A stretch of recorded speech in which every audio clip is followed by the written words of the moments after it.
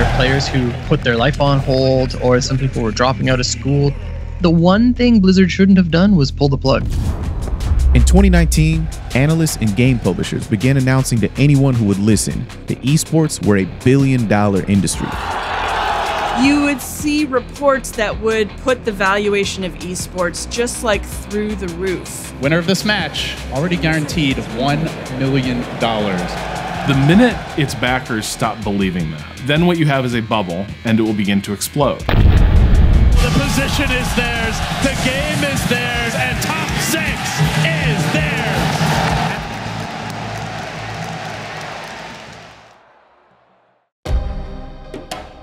People have been playing games since the prehistoric days. And somewhere along the lines, we realized that not only do we like playing games, we like watching other people play, especially when they're really, really good at it. So it makes sense that eventually we do to video games what we do to every other game try and make money off of it. Welcome to the World Championship!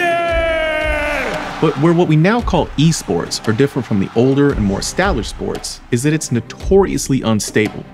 The entire industry seems to constantly be teetering on the brink of disaster, only to keep bouncing back, somehow promising more money every time. Who will scatter the weak to the wind? In this episode of Reset, we're getting into the economics of esports and taking a look at whether an industry that's valued to be a billion dollars lives up to the hype. We'll also look at where that money comes from and who's getting left behind. It was beautiful. It was action filled. And boy, what a race.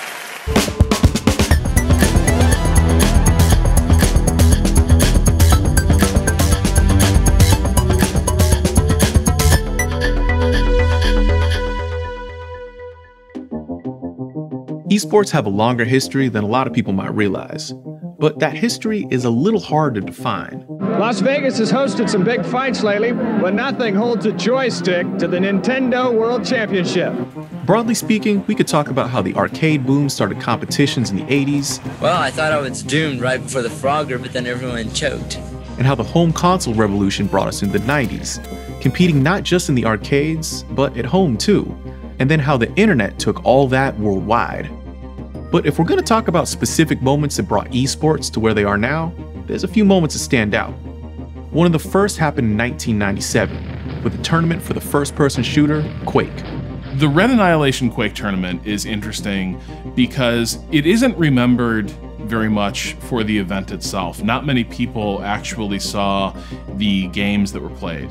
But what makes that tournament interesting is that it gives us our first esports champion in some ways, Dennis Thresh Fong. Thresh was hands down one of the best Quake players of his era, and it was at Red Annihilation, one of the first nationwide tournaments where gamers flew in from across the US to compete, where Thresh became the first esports pro with a truly recognizable name among gamers. I think for a lot of people who were part of games culture back then, the idea that Thresh was able to do this immediately recast how you regarded skill at games like Quake. That instead of it just being a thing where you could maybe be the best of your group of friends, that suddenly you could compare yourself to people playing Quake around the world. Quake may have given us a glimpse of what was coming, but that was nothing compared to what happened next, with the explosion of the sci fi strategy franchise StarCraft in South Korea that is the place where you can start to see esports as a top level competitive event and almost a pastime begin to come into focus.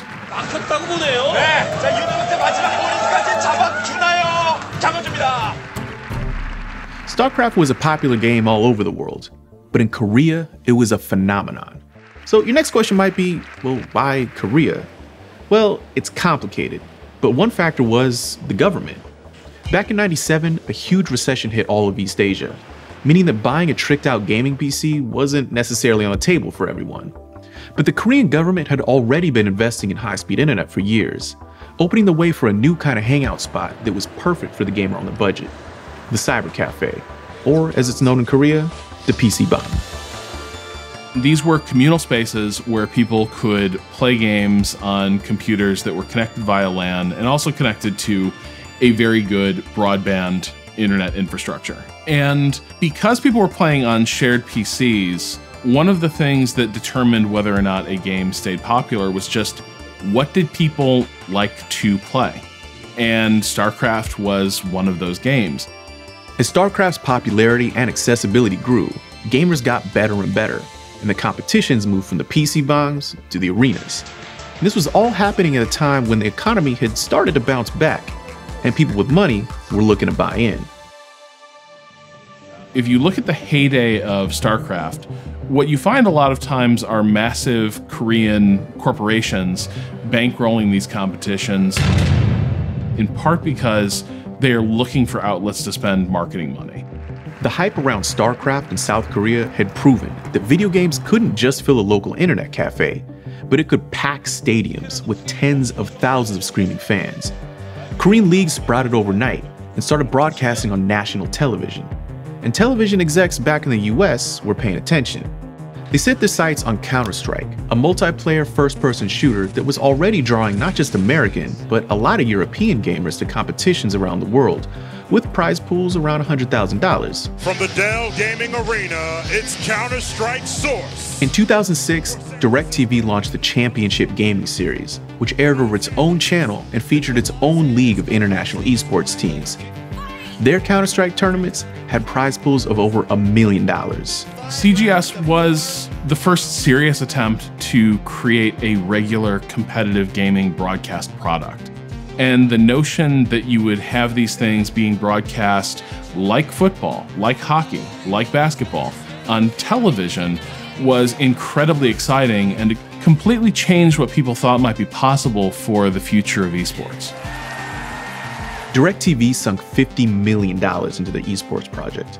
They created an international league hosted expensive player drafts, produced flashy broadcasts, and even committed to millions of dollars in player salaries and bonuses. This kind of stuff was normal in traditional sports like football and baseball, but it was unheard of for people playing a computer game. But as the money flew out the door, CGS self destructed. Whether or not that was successful, I think you can judge from the fact that it was canceled after two years. But I think the more pernicious thing about it was that when CGS was finally wrapped up, a lot of these players had been pulled out of the more organic Counter Strike scene and had a very hard time making their way back.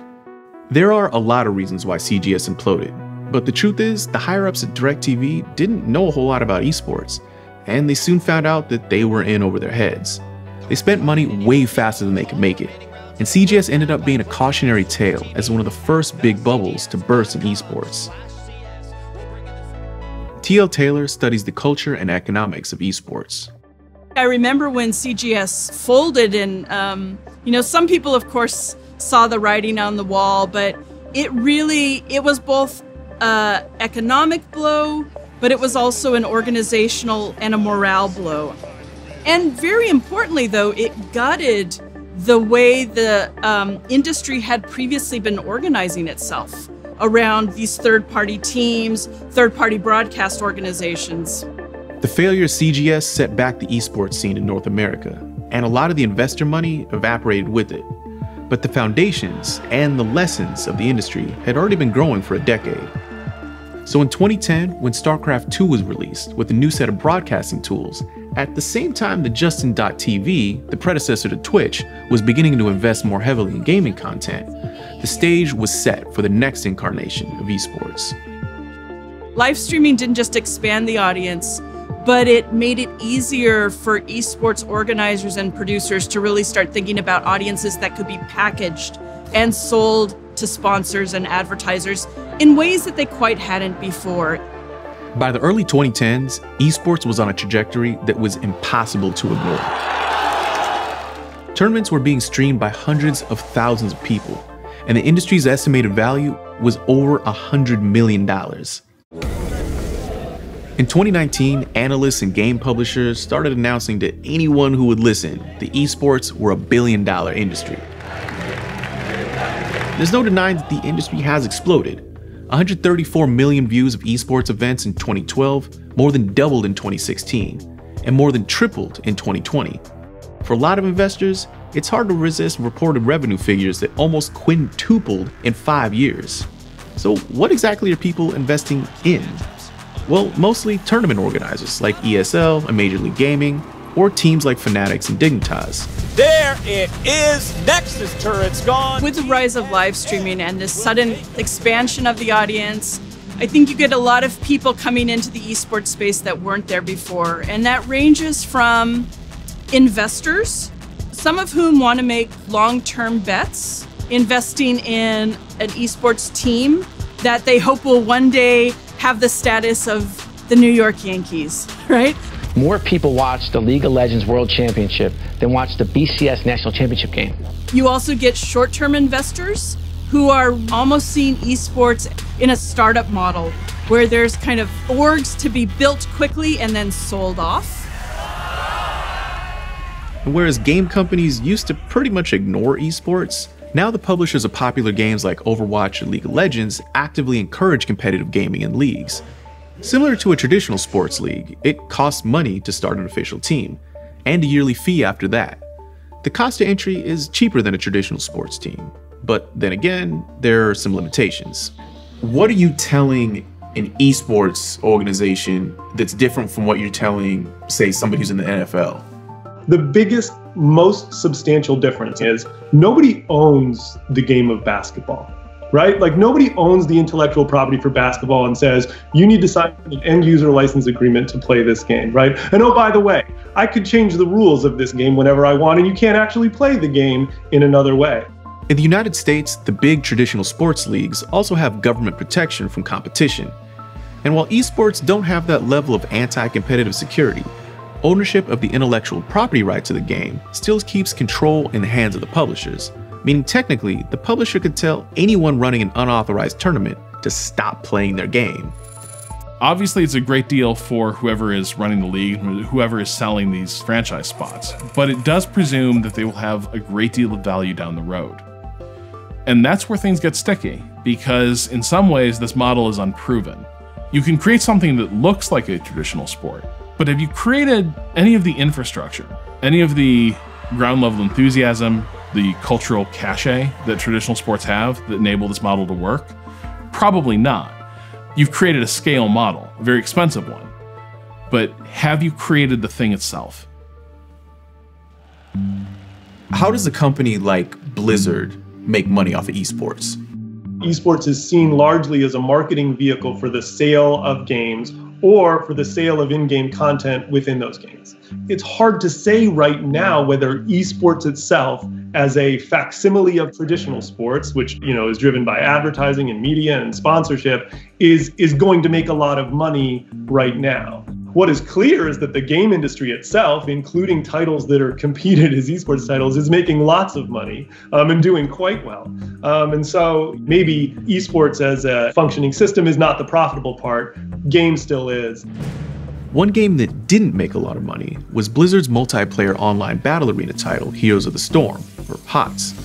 The game had a dedicated fan base, not quite as big as Blizzard's landmark game Overwatch, but they invested money into developing the scene, even running a professional tournament series built around the game called Heroes Global Championship. Well, for a while. Then in 2018, just three years after the game launched, Blizzard canceled the tournament without warning, effectively killing competitive HOTS forever. HGC has been canceled, and it's some hot bullshit. Khaled had been playing Heroes of the Storm since it was in beta, after putting years into the game, he landed a job with the US esports team Tempo Storm as their HOTS coach. It was an amazing time working with that team, and it felt like we were kind of growing in importance within the esports ecosystem, and, and that was all really cool. Tournaments were being hosted at bigger and bigger places, and it was just it was becoming more and more like the esports dream, and it kept growing and growing and growing until HGC got cut by Blizzard in late 2018 what is something like the failure of Heroes of the Storm due to the esports ecosystem? Well, it can be costly both at the top and at the bottom. Um, you know, at the top, um, for anyone uh, who invested in it, it becomes a, a, loss that maybe you can't recover from. It is also tremendously difficult for the fans who have been that support structure on the bottom. When a very popular game dies, it has a tremendous impact on um, the people who have built their cottage industry or their fandom around that. It's absolute bullshit. It's so awful. and now it's just all gone. The game is irrelevant. If there's no competitive scene, there's no league, then the game's just dead. Like it's absolutely awful. This is so terrible. I can't believe that they did this. What was happening to individual players when the, when this yeah, happened? there are players who put their life on hold, or some people were dropping out of school to to do this because it, it was actually like their big break. My memory isn't the greatest when it comes to this sort of stuff because it's traumatic for me. And I know that might sound kind of corny for people, but trauma comes in all different shapes and sizes. And losing this much that I've worked so hard for actually created like a lot of memory loss for me. Do you think that a publisher should be involved with the league? No. Really? Uh, yes and no. Nine times out of 10, I would say that the publisher interferes with the game in a negative way. And I don't necessarily think that's the publisher's fault entirely. I think it just stems down to how businesses work, like them having to satisfy their shareholders and not actually be able to do all of the things that they want to do sometimes. But solely because they can have the power to just remove the jobs of hundreds of people, I think that like yeah, it's it's a bit of a problem. What do you think Blizzard should have done?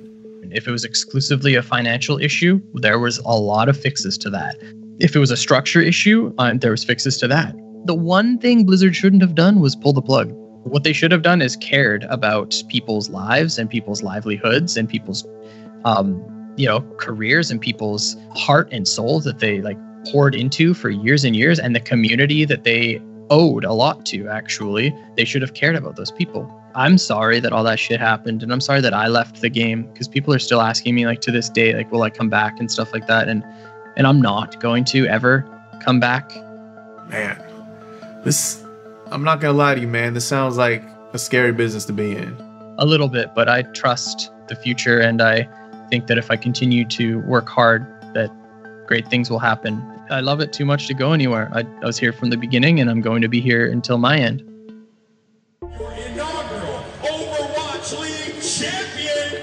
I want to talk about the flip side. Publishers definitely making a lot of money on this, and it seems like a pretty good proposition for them. Are they risking anything by getting involved in esports? There can be some risk, um, for sure. You don't know what title is going to be a hit, and that's a that's a definite risk for people who are going to be investing energy in building a sports ecosystem, including live events, travel, prize pools. Winner of this match already guaranteed one million dollars. All this risk and instability has led to a lot of experts who study the esports industry to question who's actually making money here and whether a lot of this might just be hype. Over the last few years, we've seen teams go from worth 17, 16, 18 million dollars to being worth 300, 400, 500 million dollars. But in the end, they're right now they're only making the top teams are making you know 17 to 22 million dollars in annual revenue, and some of those are still not making a profit. As things started taking off, you would see reports that would put the valuation of esports just like through the roof. And at the same time, I think many of us knew, you know, behind the scenes, people were often still struggling to make a living. There was still a lot of precarity. So I think the bubble conversation comes from sometimes this sense that the kind of public facing valuations and reports feel a little bit uh, aspirational. To a degree, everything is fine in esports as long as the possibility exists that all these investments can make good. The minute its backers stop believing that, then what you have is a bubble and it will begin to explode. And the money that funds people's salaries, the money that funds the production of these lavish tournaments will begin to evaporate. When I think about who might be left behind, I do worry that some of all that investment wealth is not fully trickling down to all of the folks who are aspirational, who now kind of want to work in this space that's been hyped up, that everybody says is worth a lot of money. Because if it really is worth as much as everybody says, then even the folks at the furthest end downstream should be getting a piece of that pie. We're now going to break some of this down with the Reset Roundtable. Join me this time is Waypoint Senior Editor Rob Zacny and gaming documentarian Phil Nolan. Hey guys. There's there's so much to cover here, but the the first thing I want to get into is that a lot of people are still in this in this sort of mode where we feel like we need to legitimize games and we need to legitimize specifically esports. Just oh no, it's not just people screwing around. There's people making money, and and there's people who take this very seriously. When I when I think about the potential for esports to evolve, I think historically there's been a lot of fixation on this notion that it needs to break through. It needs to get mainstream recognition, and a lot of times across media, mainstream has been recognized as boomers, as older, more established adults. And I think one of the things that's going to change the dynamic around that is simply that these generations are getting older. Uh, middle age is creeping up on millennials, and so to a degree, just oh, just father time is winning this fight for esports. But I think esports has historically been kind of fixated on this notion that it does need mainstream legitimacy so that you could get people who watch golf, I think one of the dreams might be imagine Jim Nantz calling esports. There it is, a win for the ages. I personally can't imagine anything worse, but I think in esports, that was kind of a dream that in some fashion was being chased. I mean, yo, there is a lot of money being poured into esports right now. There's no question about it. Is this a bubble? I think the the the short answer is yes, and the long answer is just like yes with like five or six more s's. Ultimately, like we we haven't seen we haven't seen the the profit that everyone's been gassing us up for, right? Like it's been like a, almost a decade of this esports is this billion dollar uh, super exciting speculative business and that rhetoric hasn't changed in five years of very rapid and aggressive esports development and speculative investment it's been years and we're still saying, oh, it's right around the corner. Next year's the year. Boom. It's become a very real ecosystem full of work and opportunity, but under that hood, it might just be hot air. It might like there's a lot of games that have just bet on a return in the future that hasn't we don't see it yet, you know? If you say is esports a bubble, I think I would probably say no, actually, because I think what you're talking about is a series of bubbles. Some aren't bubbles at all. There, there are some scenes I think that are perfectly healthy and operating at a reasonably sustainable um, level. But then there are a lot of games that have really pursued an aggressive growth and development strategy that I'm not sure I see the outcome super clearly. And I think one of the examples of that is a new model that's kind of taken root in esports in the last few years, uh, which is a franchise league model. This is something that League of Legends and Overwatch League both embraced. What was really interesting about Overwatch League is Overwatch was a very young game. It hadn't really proven how long its legs were. Like in terms of competitive shooters, these are games that their lifetime is measured over several years, ideally, not several months. Yeah. Overwatch League was a huge hit, and from the jump, they never even considered a grassroots driven model. That was never on the table. Blizzard went to a franchise model that looked a lot like a little mini NBA, and was that a deal that made sense for anyone but Blizzard? I tend to be a little bit skeptical. Did it make a better esport? Did it make a better competitive game? Did it hold audience interest? I think all of that has proven a little bit dubious uh, when it comes to this value proposition. And I think that that story is common through a lot of esports. What I worry about with Overwatch League is just kind of the the risk for everyone in the esports like system that Overwatch League creates because if this very ambitious franchise structure with a lot of outside money and very major investors doesn't work out and those investors are upset and alienated um, that is the pool of capital from which all of esports is going to draw, and it will be diminished because those people will want nothing to do with esports in general if if this doesn't work out. You know. What would a sustainable grassroots approach to esports even look like? I think sustainability right now, as we would know it, would look a lot more like what competitive gaming has traditionally been small groups of people, uh, smaller communities slightly more raw production values. But a lot of other games really did embrace this more speculative, more cash rich esports model. And I think there's a lot of reluctance to imagine what life after that money drying up or uh, the speculation maybe tamping down salaries. I think there's a hesitation to look at what a sustainable reality might truly be. Could one big game messing it up, could that just be the thing that has those ripple effects throughout the entirety of esports, where a lot of investors just start pulling out and say, you know what? This is not a good move. We're not putting money into this.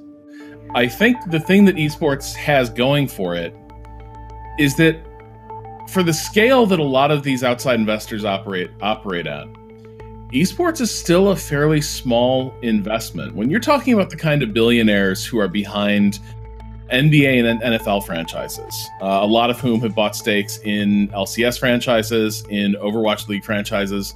And so I think the weird thing is, even if it's a bubble, a lot of the people who have a stake don't really care if it's a good investment because it's like keeping a lottery ticket magneted to your fridge. Like, who cares? So I think from that standpoint, all you need to be able to do is continue telling a story about the bright future of esports and the potential for what is coming. Once people stop totally buying into that vision, I think esports will probably have a problem. What happens to the athletes? What happens to the people who actually the labor? What happens to them if things go bad? I mean, it's not a fantastic plan B, but I know a lot of players will kind of go to Twitch whenever things go awry. Like they'll kind of try and like get their streaming career off the ground, pivot to some kind of influencer like presence. Depending on what game you're playing, a player might simply shift games. Your average e athlete's career length, even in the most optimal circumstance, isn't more than a few years, maybe a decade tops. While they do really need to maximize their potential in that tiny window, um, there are there's more than one way to do that if they're willing to pivot or develop their skill set as a streamer or something like that. Uh, this isn't the PGA we're talking about, where you can be, you know, the 30th best golfer in the world and be rich as hell. You know, if you are not the best at StarCraft, you are not making good money. If you're just the second best at StarCraft, you're doing okay, but you're constantly kind of looking over your shoulder. What has COVID done to esports? Is this something that, that esports in general is going to be able to get through with no problem? They like, they've had like a very legitimate opportunity with COVID. I know a lot of games viewership had gone up, especially early.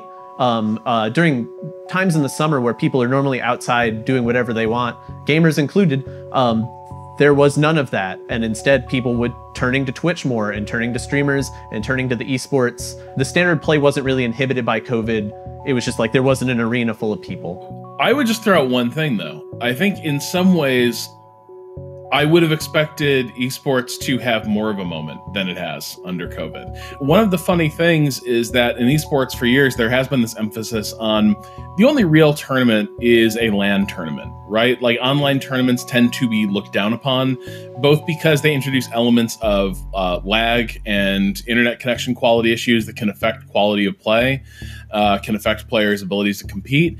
And so, in general, esports built up a greater stigma against running remote events, even though they have the capacity to do that kind of organically. Um, if I can give you a counterpoint to a, a, scene that kind of blew up out of nowhere, when COVID hit, it was right on the eve of the motorsports season. And suddenly, all motorsports dried up overnight. So, one of the things you saw happen was iRacing, which is just a super nerdy, intense, um, like peak dad energy uh, racing sim that, that people play online, subscription only. They have rules. If you drive like a jerk in iRacing, they will throw you out of the race. They will pull this car over. It's a very serious like online racer. They started running events uh, with professional motorsports athletes. Welcome to the Infra Presents the Firecracker 400. I'm your host, David Schildhouse. They had no tradition of sweating things like how are we going to run a live event? How are we going to have a LAN? So having a reality where everyone is just remoting in and driving races together and just kind of letting it ride in terms of lag or connection quality made for some really remarkable events and ca- created a lot of like enduring interest in that. And I think that's an interesting contrast to what happened in a lot of esports where COVID affected them almost as much as traditional sports at first. On that note, unfortunately, we have to wrap it up. Rob, Phil, thanks so much for being with me. Thanks, Dexter. Thanks, Dexter. For you, thanks so much for hanging out. And there's a lot more to talk about next time on Reset, the unauthorized guide to video games.